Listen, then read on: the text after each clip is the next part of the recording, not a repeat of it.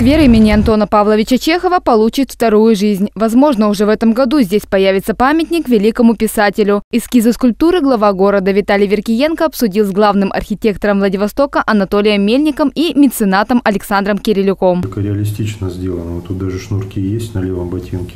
Хотя будут закрыты листочком. Да. Ну да. так, что это будет ну, интересная вещь, которую, угу. которую вот э, возможно выполнить э, в этом году, угу. как минимум к э, ВЭФ празднику. Угу. То есть может быть даже при известном напряжении или возможностях. К дню города. К дню, к дню города, да.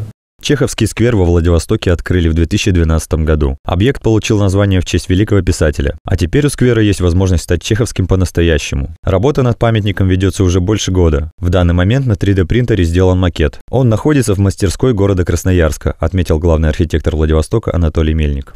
Чеховским сквер назвали в связи с одной из легенд. Согласно поверью, именно с этого места знаменитый писатель Антон Чехов во время своего визита во Владивосток любовался морем. Когда я был во Владивостоке, то погода была чудесная, теплая. Несмотря на октябрь, по бухте ходил настоящий кит и плескал хвостищем. Впечатление, одним словом, осталось роскошное, отметил в письме своему другу Антон Павлович Чехов.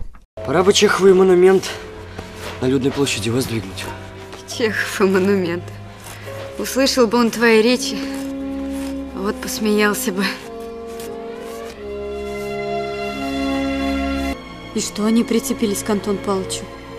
При царе нытик, при советах тоже нытик. А он говорил, я веселый человек.